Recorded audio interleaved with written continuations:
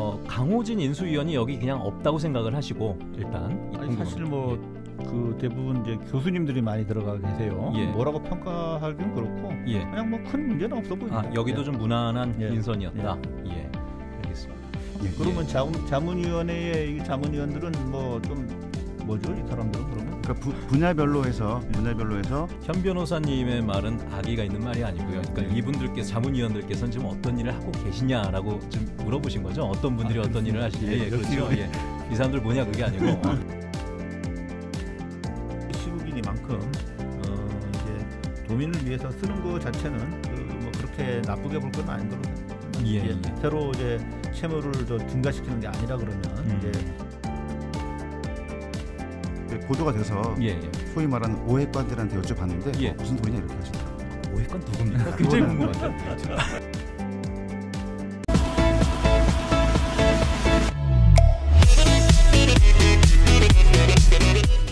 예, 목요일 저녁 시사 전망대 함께하고 계십니다. 자, 2부에서도 역시 어, 현덕규 변호사 그리고 강호진 센터장 두 분과 이야기를 나눠 볼 텐데요. 어, 일단 뭐 2부에서는 오영훈 당선인의 도지사직 인수위원회 이야기를 해보겠다고 아까 말씀을 드렸고요. 지난 9일 공식 출범을 했습니다. 위원장은 송석원 전 제주대 총장, 부위원장은 허남춘 제주대 교수가 맡았고 20명의 인수위원들로 구성이 됐는데 먼저 현 변호사님께 여쭤보도록 하겠습니다. 어, 강호진 인수위원이 여기 그냥 없다고 생각을 하시고 일단 예.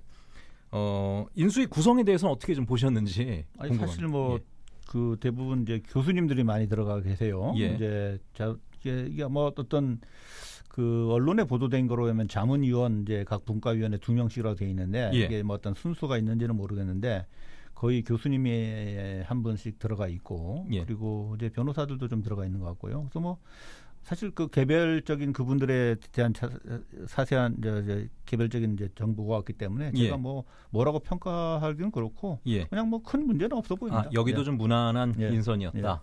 예. 알겠습니다. 자, 감사합니다. 예. 옆에서 제가 보기에는 거의 이제 도끼 눈을 하고 보시는 것 같아가지고 편하실 줄 알고 예. 방어 준비하고 있었는데 아, 예. 한 분이 좀 눈에 띄는 분이 강호진이라는 분이 예, 예, 예. 저도, 저도 몰랐습니다.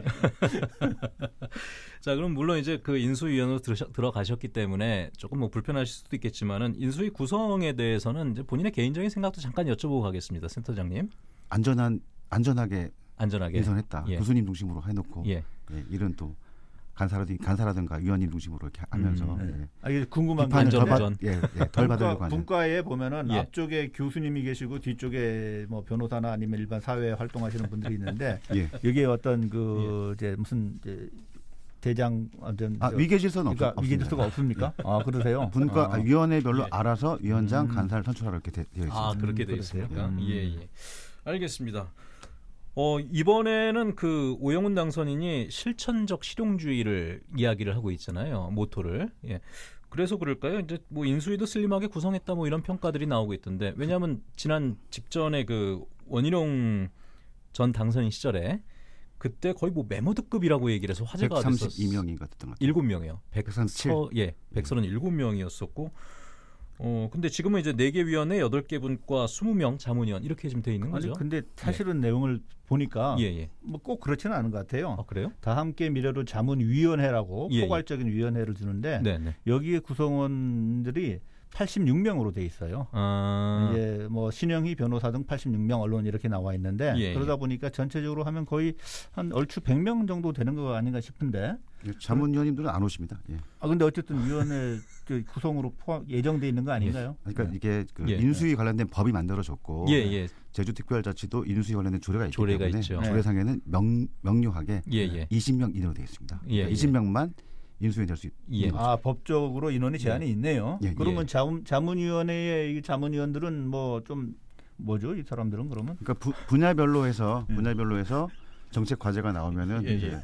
의견을 내실 수 있는 좀 그 기분이 좀. 나쁠 수도 있겠네요. 아니, 아니요 그, 그 그- 구조를 보시면 예, 예. 인수위 조직도 보시면은 음. 인수위원보다 자문위원들이 위- 위에 있습니다. 예.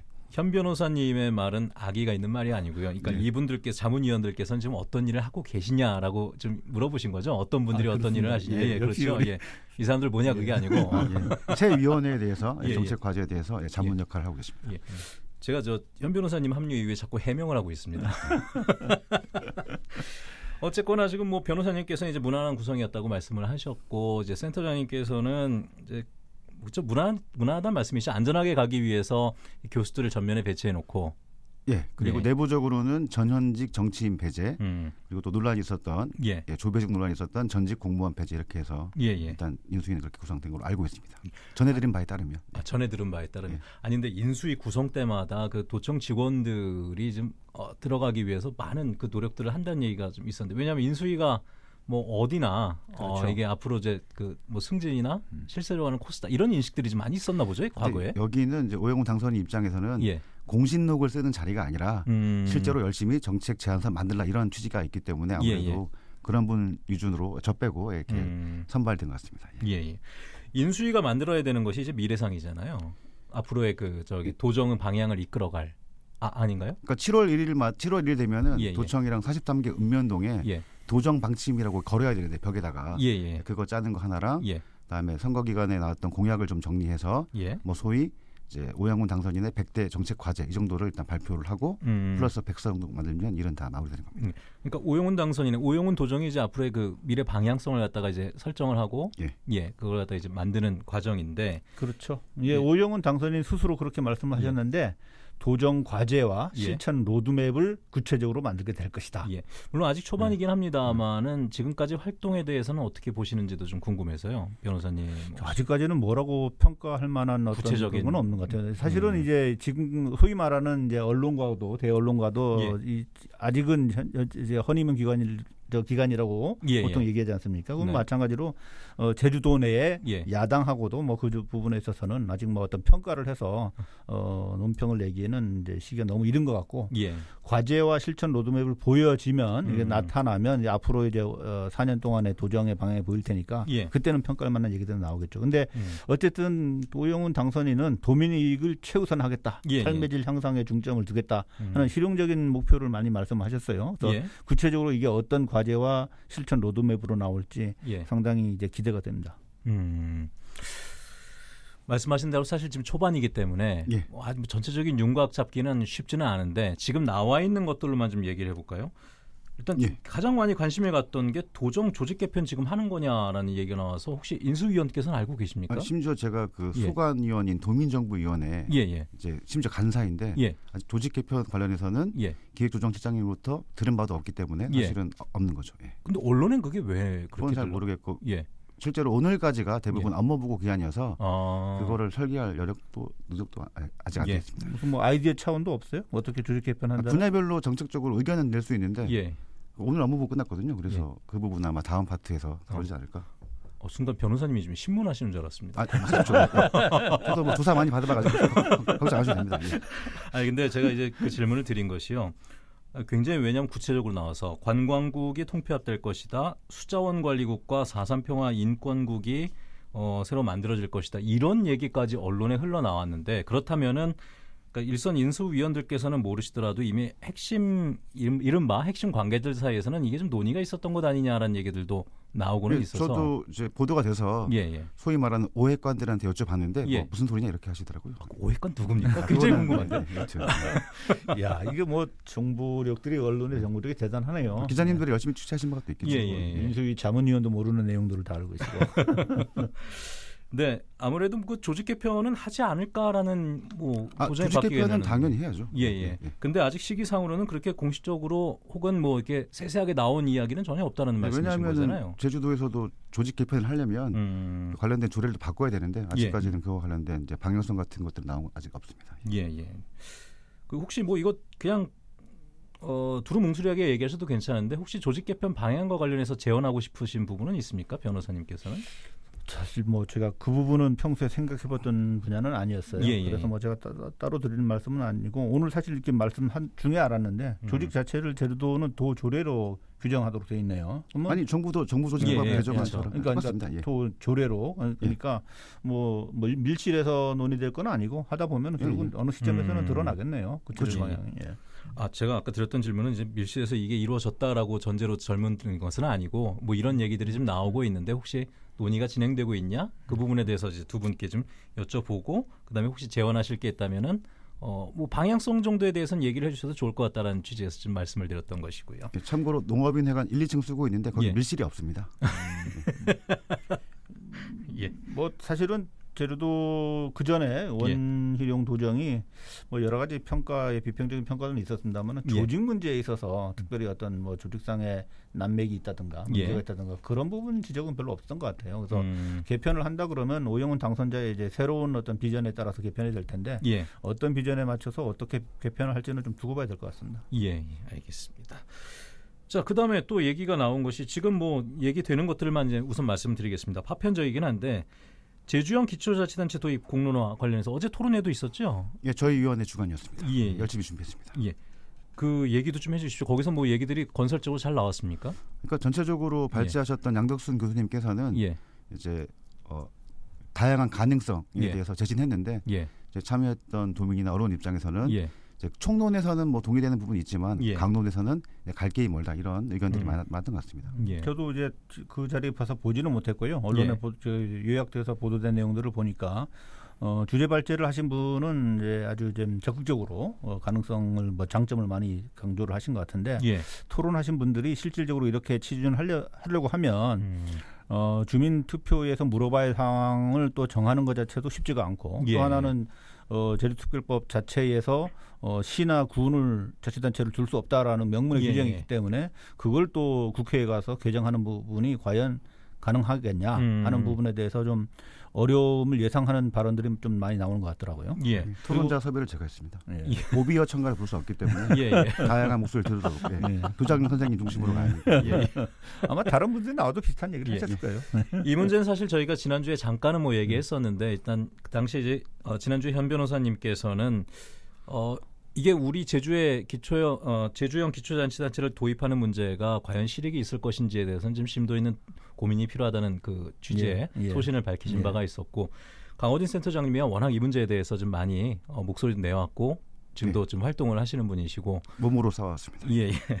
다만 이제 어떻게 진행될지가 문제인데 어, 일단 그 오영훈 당선인이 임기 내 뭐 주민투표 얘기를 좀 하고 있기 때문에 의지는 굉장히 좀 강력하다고 봐야 아니, 됩니까? 명확한 로드맵은 예. 2024년에 예. 주민투표를 통해서 결정을 하고 음, 2026년부터는 어떤 형태로든 다음 선거 법인격이 예. 있는 예, 법인격이 그러니까 있는 지금 전제가 예. 국회에서 저 제주특별법 개정을 해야 된다는 것인데 예.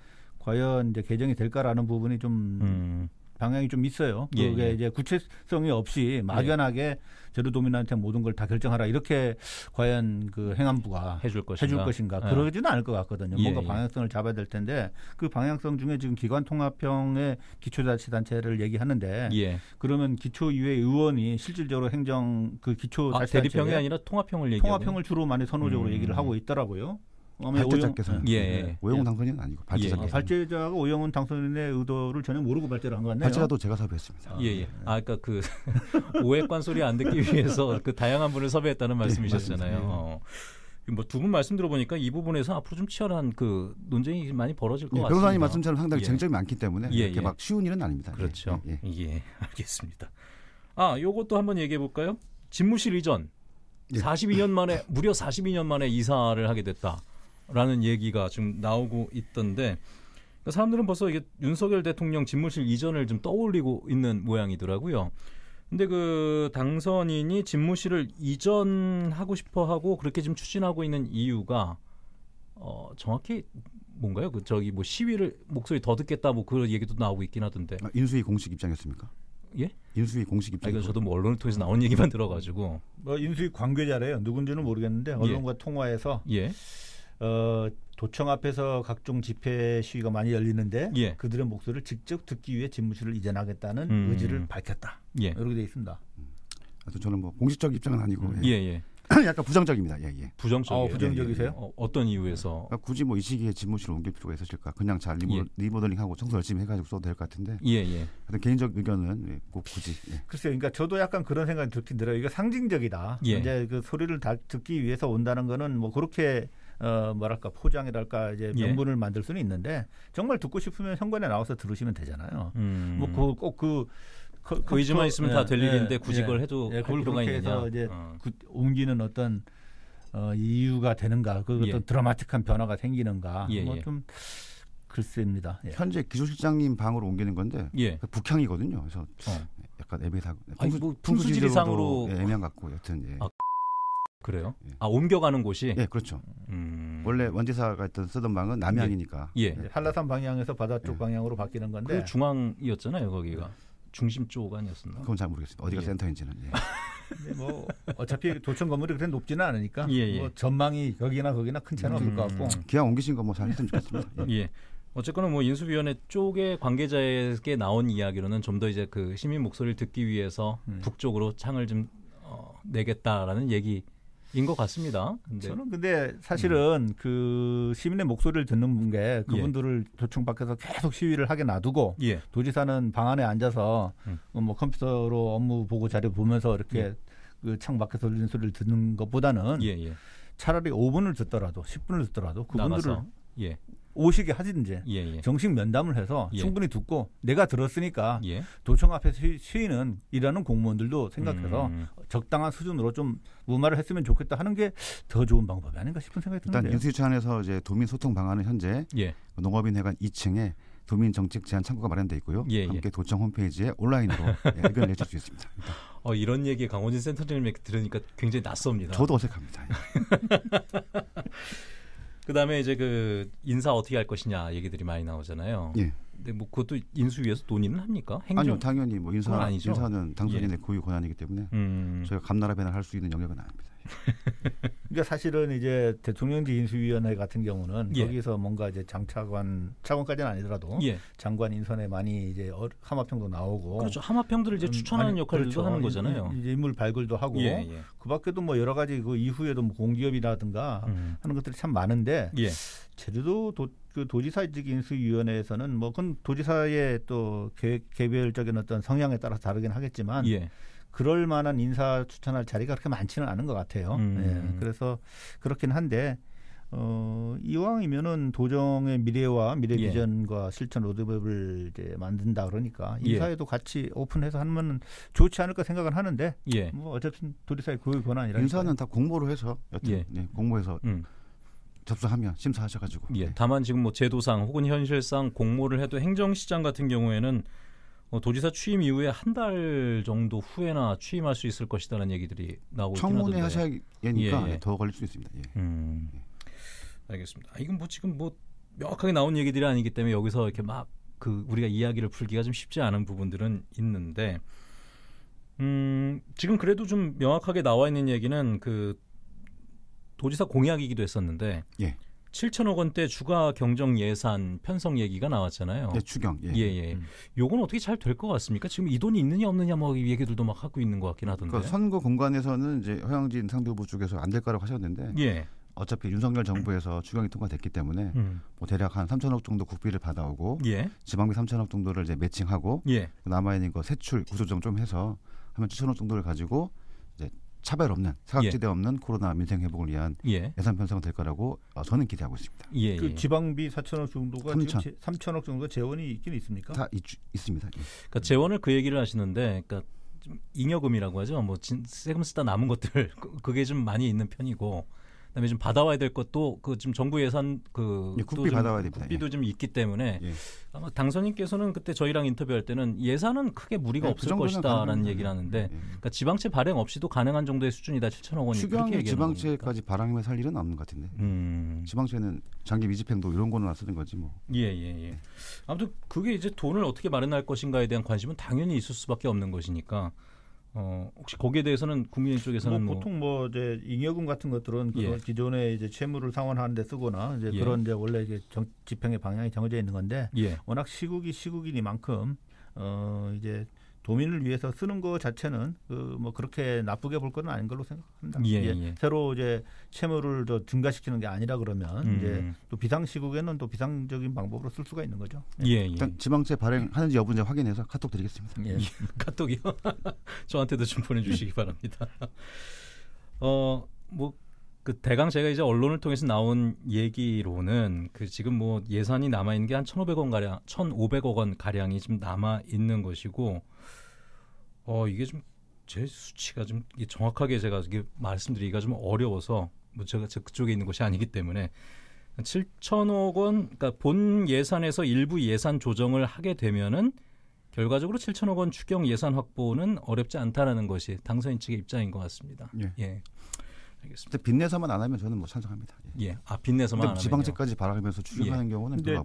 본 예산에 기존에 있는 예산을 변경하는 거는 상당히 예. 좀 난항이 있을 것 같은데요. 그 사실 그게 가능한지조차 모르겠어요. 그게 이미 이제 예. 이미 집그쓸 수 있는 음. 항목과 어, 권한과 책임이 정해져 있는 것이거든요. 예산이라는 예. 게 그냥 마음대로 이제 항목을 돌려서 쓸 수 있는 게 아니라서 음. 어. 아, 그럼 변호사님 말씀대로라면 이제 그뭐 추경 예산을 확보하는 부분에 대해서는 이견이 크게 없을 수는 있지만은 어느 예산을 어떻게 조정하느냐에 대해서는 앞으로 좀 이견이 있, 는 그렇죠. 부분이 생길 예. 수가 있다는 예. 말씀이신 예. 거죠. 그러니까 아까 저- 잉여금을 음. 예를 들어서 어, 기존 채무 상환하는 거를 그런 거 같은 거를 돌리는 거는 예. 큰 어려움이 없을 텐데 다른 항목에 이미 쓰도록 돼 있는 부분을 만일에 돌린다 그러면 음. 어 그거는 조금 법리적인 문제도 좀 있을 수가 있는 것 같고요. 예. 그 예산의 직간접적인 어떤 그 수혜를 보는 그분들의 어, 문제도 좀 있을 것 같고요. 아무튼 음. 그런 부분은 구체적인 내용을 좀 봐야 될 것 같습니다. 일단 법리적, 예, 법적인 문제는 네. 없고요. 예.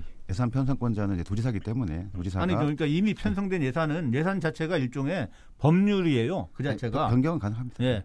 뭐 어떤 행위를 그러니까 구체적으로 그러니까 이미 변경을 하려면 그거는 이제 기존에 있는 기득권이랄까 예, 어떤 예. 저 이해 관계를 변경하는 거기 때문에 문제가 네. 생길 수 있다는 얘기죠. 음. 요건 좀 구체화돼서 나오면 예, 혹시라도 예, 예. 그때는 얘기를 해봐야 될 것 같습니다. 자 오늘 2부의 이야기를 조금 종합을 해드리자면 일단 인수위 인선에 대해서는 두 분 뭐 무난하다 혹은 안전벨트를 잘 착용한 그런 인선이었다라는 말씀이셨고 큰 방향성에 대해서 짐작을 해보고 싶긴 한데 아직 좀 초반이기 때문에 아직까지 나온 얘기들로는 그 방향을 갖다 정확하게 좀 인식하기는 좀 어려운 부분인 것 같다. 어, 관련돼서 저희가 아마 그 7월 그 임기 시작하기 전에 다시 한번 그 마지막 쯤에는 좀 얘기를 해봐야 되지 않을까 좀 예, 생각을 6월 말. 정도에 아마 예. 백대 과제가 발표될 것 같습니다. 예, 그때까 보시면서 예. 자 오늘 시사 전망대 함께 하셨습니다. 자 오늘도 현덕규 변호사 그리고 강호진 센터장 두 분과 함께했고요. 저희는 다음 이 시간에 뵙겠습니다. 고맙습니다. 예. 네, 감사합니다. 고맙습니다.